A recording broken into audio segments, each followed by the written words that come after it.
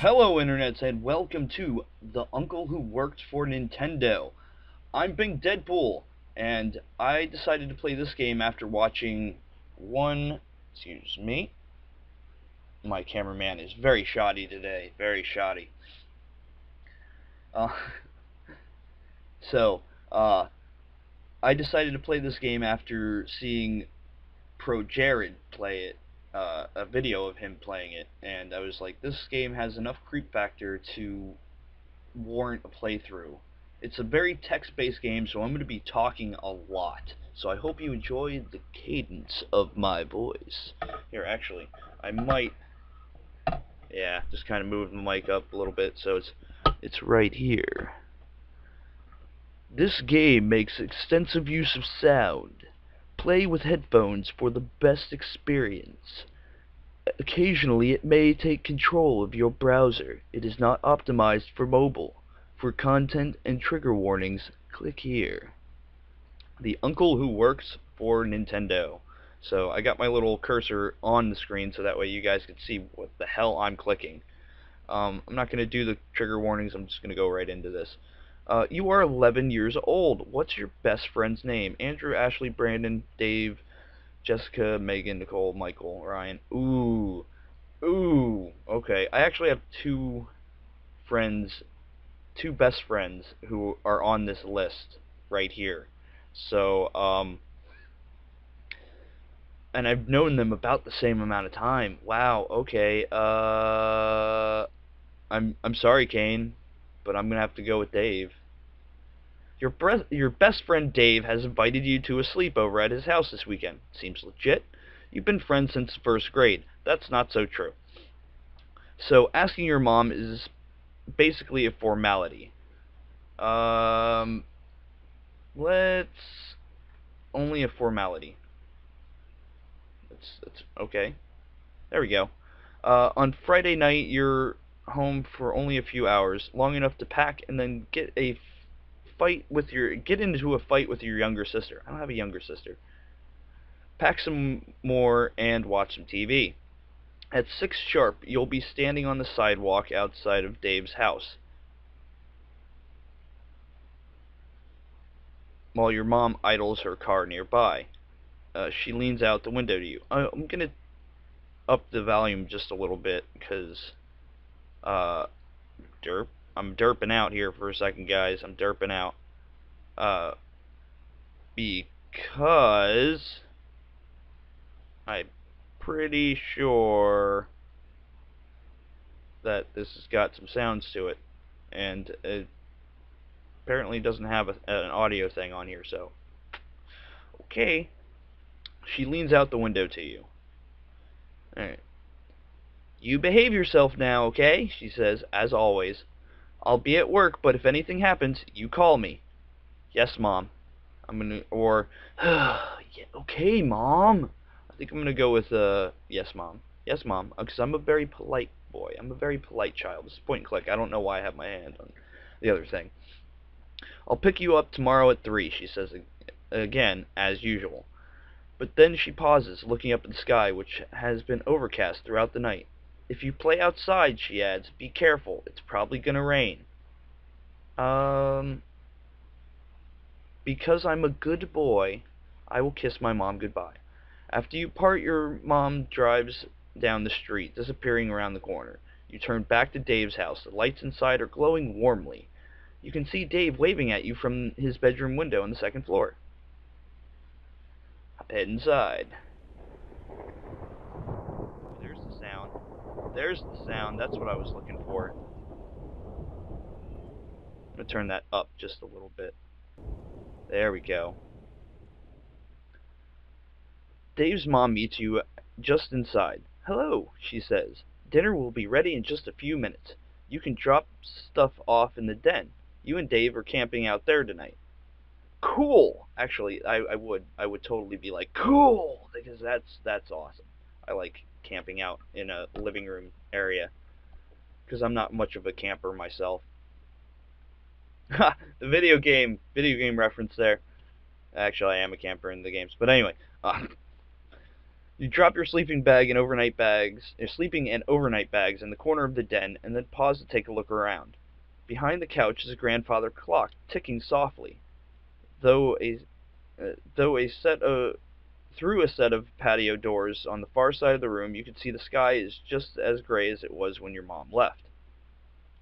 Frame pictures line the walls over the dark fireplace. Uh, over the dark fireplace hangs a monstrous pair of antlers from a buck that Dave's dad shot years ago. And of course, there's the big screen TV. Sometimes it makes you uncomfortable how much nicer Dave's house is than yours. Anyway, Dave entered the room while you were weren't paying attention, and he now stands at the doorway, smiling expectantly. Are you ready for dinner? he asked. Yeah, I'm fucking starving, man. Flippin' starving. Dinner passed quickly. Tonight's meal was spaghetti and meatballs, one of Dave's favorite meals. As his mother points out while piling a helping on your plate. Your father cracks a beer, or Dave's father cracks a beer, and jovially interrogates you about how much trouble you and Dave have been getting into school. I'm going to click on this to see what that does. Wait, that wasn't a beer at all. It was a glass of lemonade. Why would you even think that it was a beer? Dave's father doesn't drink alcohol. You're quite certain of that fact, and now you've remembered it. Well, whatever. Okay. Dave's father uh, sips a lemonade and jovially interrogates you about how much trouble you and Dave have been getting into at school. Dessert is heaping bowls of ice cream drizzled with chocolate sauce. You can't even finish yours. Grandfather clock chimes in the den.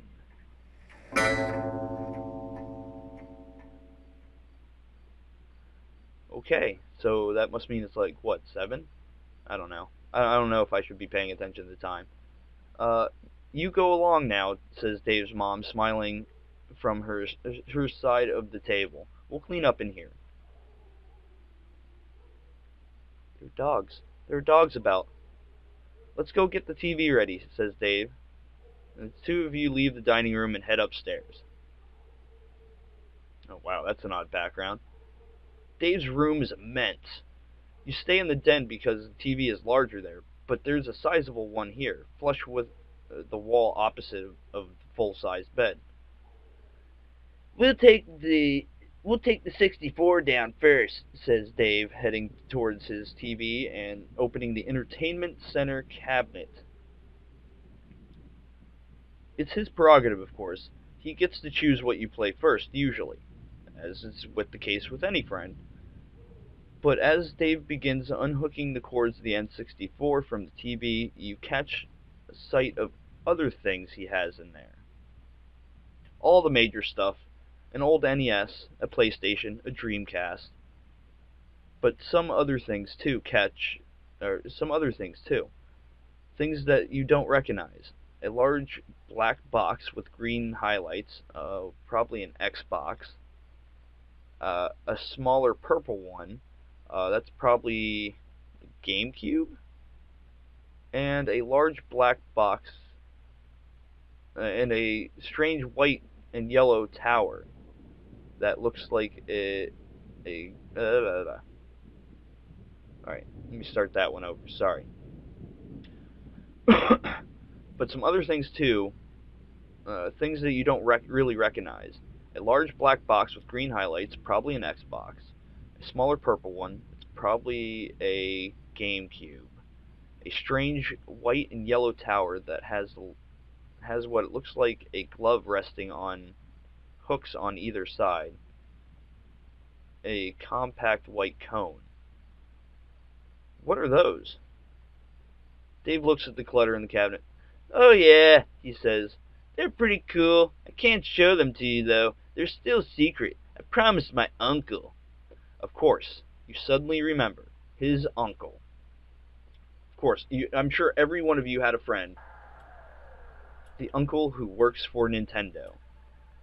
I'm sure every one of you has had a friend who pretty much claimed, "Oh yeah, my friend worked I have, you know, my my dad's brother, otherwise known as my uncle, uh, works over at you know PlayStation. So you know, I, I know about the games that are coming up. I know about the you know the new Final Fantasy 11. It's supposed to be MMO and stuff. It's pretty cool. You know, you, I'm sure you probably have friends like that that just were like totally upping their own stature by lying straight to your face. At least that's what it seemed like, because I never freaking met the guy's uncle. And if I did, he didn't freaking play any cool video games with me. Anyway, uh, in the corner, the grandfather clock is ticking softly, though a nearby patio said a new patio. It's getting quite dark. Okay, let me click that. It's 7 o'clock. Okay, so it is 7 o'clock right now. Okay. Uh, frame pictures line the walls. Let's see what the... Walk around the perimeter of the den, inspecting the pictures idly. Most of them are family portraits from years past. Dave cradle, cradled lovingly between his mother and father, and any other on the three uh, their own. A happy, tidy family. Look for pictures of Dave's uncle. Yeah, we're going to go to the bottom of this mystery right now. You don't find any. Not one. Hmm. The only pictures there are Dave and his parents.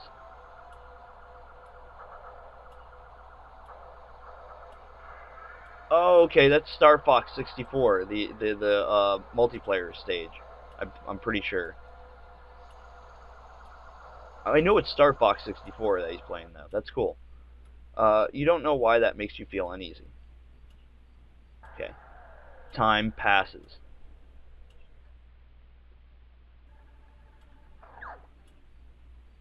Uh, Davis parked in front of the, the the large TV playing something on the N64. Oh, they're playing that Mario Kart. Oh, you know what? Um, watch Dave play. Let's see. You try to relax by watching Dave play a game. After a moment, though, he looks over at you. You want to play this one, he says. Play. Sure. The game is kind of spooky. The character just has a flashlight and is running around some underground tunnels. Occasionally you hear what sounds like digging. You don't like it. Dave is watching you and seems amused at how uncomfortable you are. You don't say anything, so you don't look weak. You play for a while, even though there doesn't seem to be an ending. Oh god, that kind of made me jump a little bit. The clock chimes. You are in the den. Okay. Uh, in the con. Alright. Uh, let's check the it's 8 o'clock, okay. Um, let's talk to him about his uncle. It began with Mew. You didn't believe him at first when Dave came to school one day and told you he'd finally caught Mew. Prove it, you said. He pulled out his Game Boy and showed you. There it was, Mew, the 151st Pokemon available only to players at promotional events, and somehow unlocked on Dave's game. It's really strong, he says. KOs every enemy in one hit. One punch! Dave demonstrated this claim at recess when you and some other kid, uh, when you and some other friends linked Game Boys to do battle. Uh, you were the first one down. No one else got a single hit on Dave's Mew. Excuse me. In a few days, everyone had quit playing Pokemon at recess. The allure had faded. As with any game. Uh, you asked Dave how he managed to get it. Uh, oh, my, oh, my uncle got a job at Nintendo, said Dave. You were walking home together past one of the construction crews Dave still lived ne next door to you at the time. Let's let's. There had been a storm not too long ago. Trees were collapsed all over. Buildings were collapsed. Uh, you were standing at an intersection with Dave as a truck rambled by, loaded with some rag tree trunks. What a bad storm. Okay. It's a stormy night now. That's interesting. Uh, Dave still lived at the time. Wait, this couldn't have been too long ago. When did Dave move? There was something nice about being neighbors. It's getting weird. Oh. He also got me this new Game Boy, said Dave, pulling out his pulling it out of his pocket. You hadn't noticed it earlier, but yes, Dave now had a sleek new Game Boy Color. Until today, he had had one of the old ones, the big gray brick like yours. This one's special edition. Isn't it cool? You agreed. You snap out of your reflections. Snap out of them. Uh, da, da, da, Remember your own Mew. I'm gonna, I'm gonna do that. You got your own Mew eventually. Uh, another friend had Game Shark, which you borrowed one day. You spent the entire night unlocking every Pokemon that you couldn't obtain in your copy of the game or hadn't yet traded for, including Mew, which is understandable. You could do that with a Game Shark. It didn't one hit KO and like uh, it didn't one hit KO most enemies. It was incredibly weak, and you shamefully cheated the game to further make it strong enough. It even looked different from Dave's. Your Mew was small, even cute, standing there with its round, cheerful eyes, but Dave's but when Dave's whipped out but when Dave's had whipped out everyone or wiped out, excuse me. Let me try that again. But when Dave's wiped out everyone at the school, it looked completely different. Compact, snarling, fierce. Uh, you asked him why. What? He said. That had been. What he had said, that had been here, in the den. Oh, that thing? Let me see, hold on. Dave had moved, uh, David moved by then, but how long was that after the first storm, after he got Mew?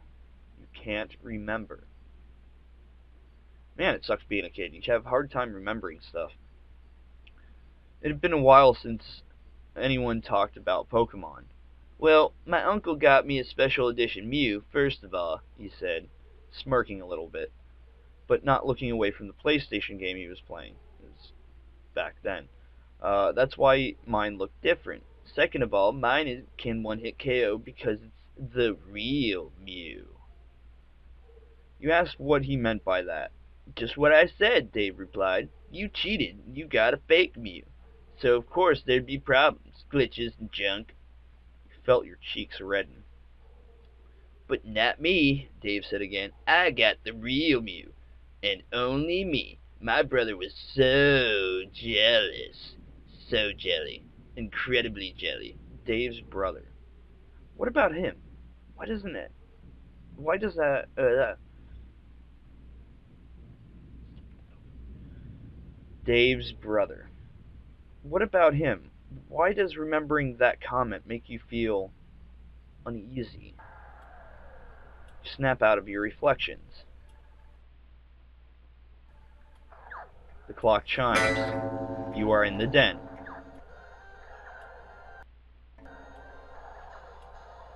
Uh, Dave's mother bustles into the room holding a large ceramic bowl filled with popcorn under arms.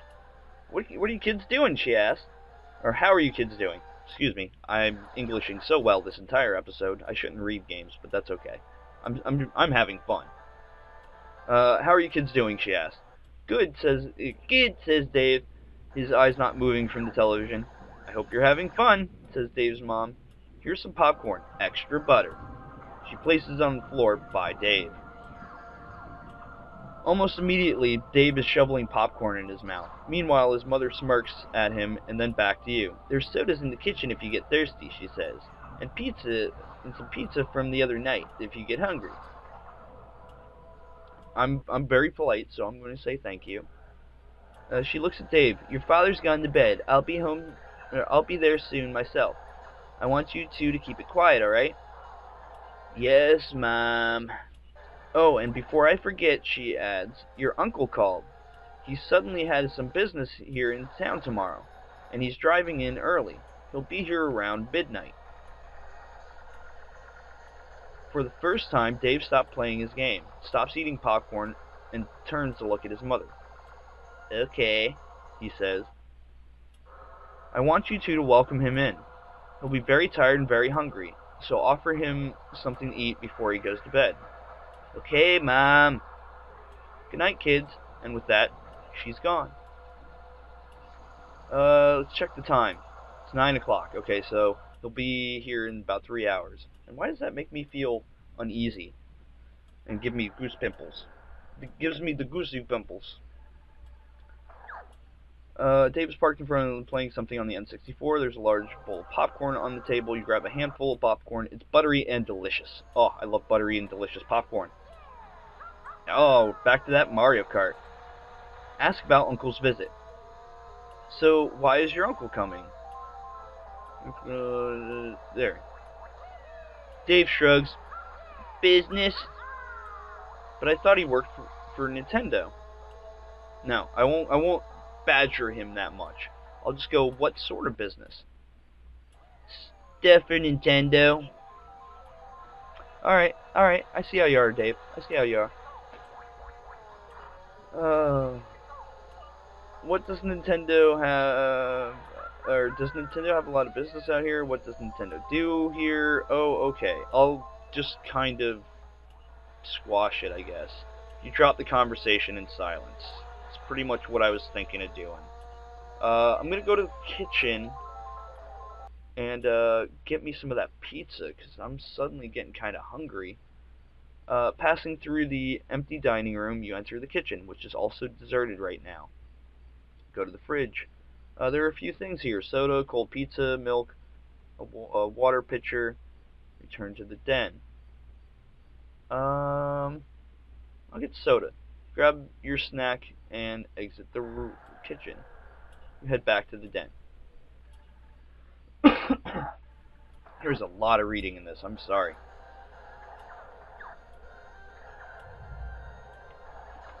I did not properly work my voice out for this beforehand. Uh, it should be, it's 9.30, okay. Uh, da, da, da, let's talk to Dave. What should you guys talk about? Well, you know, since he's a gamer friend of mine, I think we should... Oh, hold on. School games. Ask if Dave thinks the storm will be as bad as the last one. Uh... Uh, I don't like the sound of the wind. You remember the storm we had that tore all those down all those trees? I don't know what you don't what you're talking about, says Dave. You don't remember? Remember what? Uh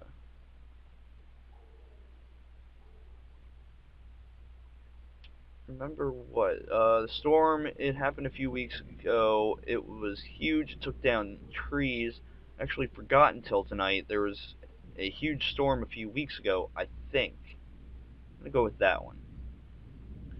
Dave shakes his head. If it was important, I'm sure I would have remembered it, he says. He falls silent.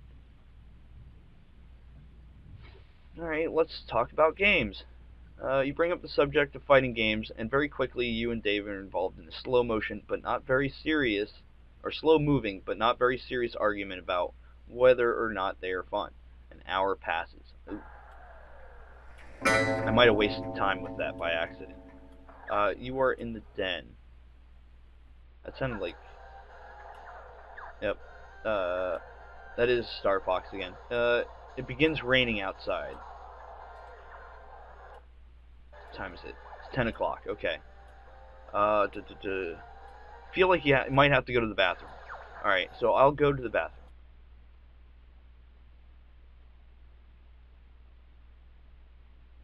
You head to the bathroom down the hall from the den. There's a shower, a linen closet, and a toilet. Well, I have to go to the bathroom, so I'm going to go to the toilet. Uh, you go to the bathroom and wash your hands. Are you done here? Um, yeah, go back. You go back to the den. You head back to the den. Um,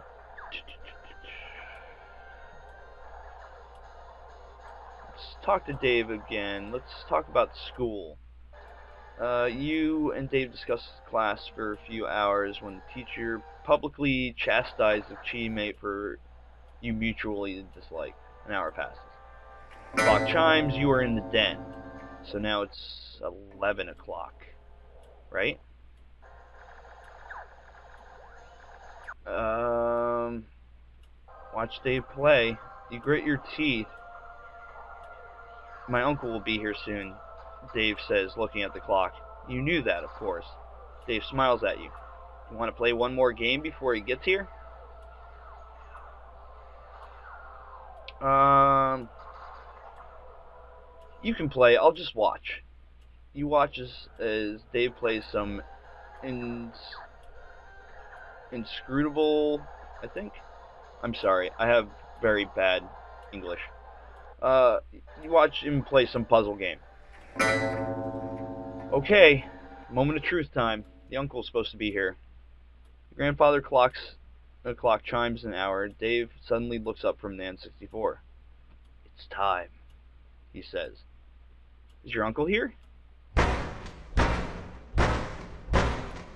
Someone's knocking. At, someone knocks at the front door. Okay, that's him, Dave says, suddenly standing up. I should go let him in. As he leaves the den, you realize you could follow, but part of you really feels like being scarce for a bit. I'm gonna be scarce. Um, run to the bathroom. As it's loading up. You run down the hallway to the bathroom and lock the door behind you. Or at least, this could have been in the bathroom. The walls are bare and white. There's no sink or toilet. There's some odd featureless white boxes that stand in the sh shower. Well, I'm going to go in the linen closet. Crawl into the plain white box that is, is about the size of the linen closet. You close it behind you. From the front of the house, you can hear the slam, the front door slam open. After that, you hear, you don't hear anything except bad expression child. What? The rain. No. No, it's not the rain, but that's a voice in the back of your head like bad expression. I am I am coming for you, child. Like something you can't even begin to describe. Though you lock the door behind her, you hear it open easily. Something walks in. Hold your breath. You are not exactly sure how you know something is out there, but because you don't wait, you're not exact you're not sure how you know something is out there because you don't exactly. Oh, child. Hear it move, moving, but you don't know it's there, and then you stop. Poor, poor child. Right outside your hiding spot. It opens the door, even though you immediately realize it doesn't even have hands. Oh, child, I am so Oh, so hungry, child. You cannot run, child. Hello, child. No more worries, child. Hello, child. Struggle cease. Screaming cease. I have friends for you, child. Friends for you in the dark. You will play forever in the dark. Jesus. Okay. Okay. The uncle who works for Nintendo.